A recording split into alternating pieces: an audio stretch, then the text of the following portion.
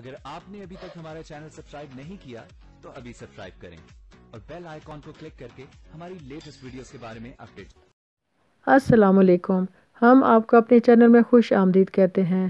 شہریار، خوشی خوشی ناہید بیگم کا کیس خود لڑنے کے لیے تیار ہو جاتا ہے، کیونکہ اس کا مقصد حسنہ کو خوش کرنا ہوتا ہے اور وہ کیس کے دوران ہی اسے پروپوز بھی کر دیتا ہے، لیکن اسی وقت علی آ کر بتا دیتا ہے کہ حسنہ تو شادی شدہ ہے۔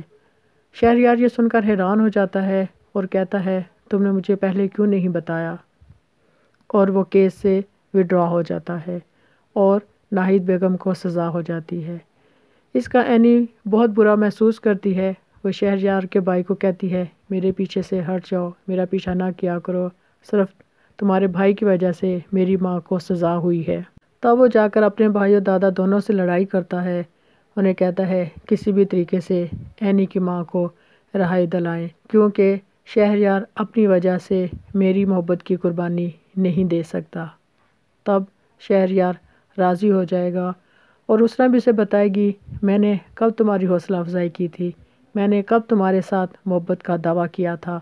تم خود ہی میرے پیچھے آ رہے تھے اور خود ہی، خود سے ہی سوچ کر بیٹھ گئے تھے۔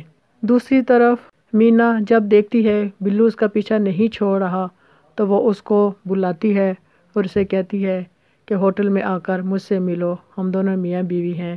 لگتا ہے وہاں جا کر وہ دھوکے سے اس کو کچھ کھلا پلا کر اس کے طلاق نامے پر سائن لے گی تاکہ اسے جان چھوڑ جائے، کیونکہ وہ آسانی سے تو اسے جان چھوڑنے والا نہیں ہے، لیکن وہ بلو ہی کیا جو مینا کے دھوکے میں آ جائے۔ ہماری ویڈیو کو لائک کریں شیئر کریں اور سبسکرائب بھی۔